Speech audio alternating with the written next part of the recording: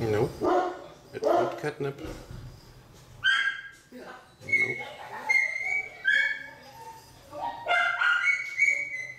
But she likes it.